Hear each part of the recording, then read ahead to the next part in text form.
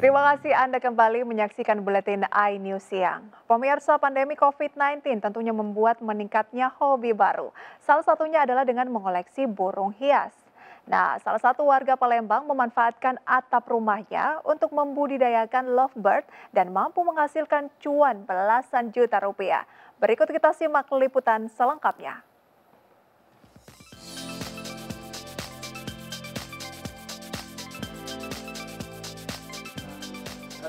Dengan memanfaatkan atap rumah, salah seorang warga di Jalan Siaran Pasar Satelit Rumah Sako Palembang mampu membudidaya ratusan burung cinta atau lovebird. Terdapat beragam jenis lovebird yang dikoleksi, di antaranya jenis Biola Green, Biola Blue, PB Creamino Mata Merah, dan PB Owing FC. Ya, lovebird dikenal dengan kesetiaannya dengan pasangan. Bahkan mereka peduli dengan burung satu koloninya. Selain itu, lovebird juga memiliki bulu warna-warni yang indah dan memiliki paruh bengkok serta suara yang merdu. Ya, bentuknya yang lucu ya kan, paruhnya bengkok. Dia ini bisa juga dijinakin gitu. Terus untuk lomba suaranya, suaranya tuh khas nih, ngekeknya gitu. Untuk perawatan lovebird sendiri cukup mudah.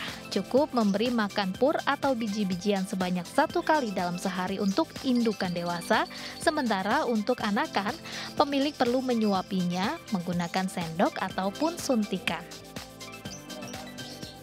Uh, warna dari dari bulunya yang beragam. Jadi uh, itu yang membuat saya tertarik. Selain itu juga ini bulunya yang halus, kemudian kalau lovebirds ini uh, atau burung ini karena dia perawatannya itu cukup mudah ya, cukup diberi uh, makan sekali. Dalam satu periode, indukan bisa menghasilkan lima telur, sehingga peternak mampu menjual anakan mulai dari 1,5 juta hingga 9 juta rupiah per ekornya, tergantung jenis dan keindahan bulu. Selama masa pandemik, permintaan tentunya meningkat hingga 50 persen, dan omsetnya bahkan mencapai belasan juta rupiah per bulannya. Pemirsa, apakah Anda berminat untuk mengoleksi lovebird atau justru ingin membudidayakannya di rumah? Dari Palembang, Sumatera Selatan, Bambang Irawan, iNews melaporkan.